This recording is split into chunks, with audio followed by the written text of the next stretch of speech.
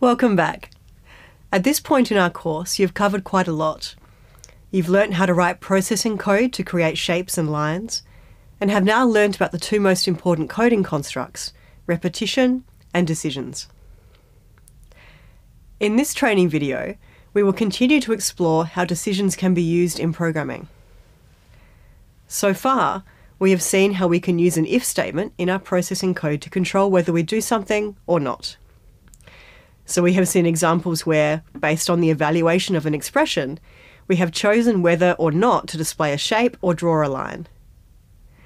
We have also seen examples where we have chosen between two options using the if-else statement combination.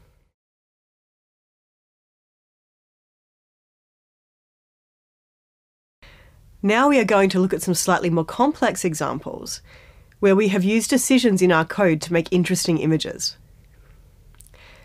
Imagine that we wanted to draw a set of nested rectangles, such as this. We could do this by using the following code. This code uses a for loop to draw a series of rectangles where each rectangle is 20 pixels smaller in height and width than the last. What if we wanted to change this image so that every second rectangle was drawn in a different colour, like this? We could use a decision to do this. Let's think about the pattern that we are creating. The first rectangle is green, the second rectangle is red, the third is green, the fourth red, the fifth green, the sixth red, and so on.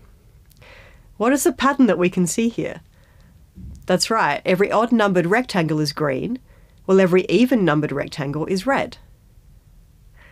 We can include a condition in our code that tests for whether the current rectangle is an odd or an even numbered rectangle, and then change the stroke colour to either red or green. Let's think about what that condition might be. We know when we have an even number when we divide by 2 and the remainder is 0. We can do this in processing using the modulo operator. The calculation 8 modulo 2 would give a result of 0, indicating a remainder of 0 as 8 is an even number. The calculation 9 modulo 2 would give a result of 1, 9 is an odd number.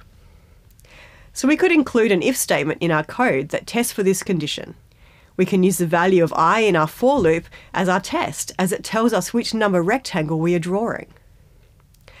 Let's put this together in our program.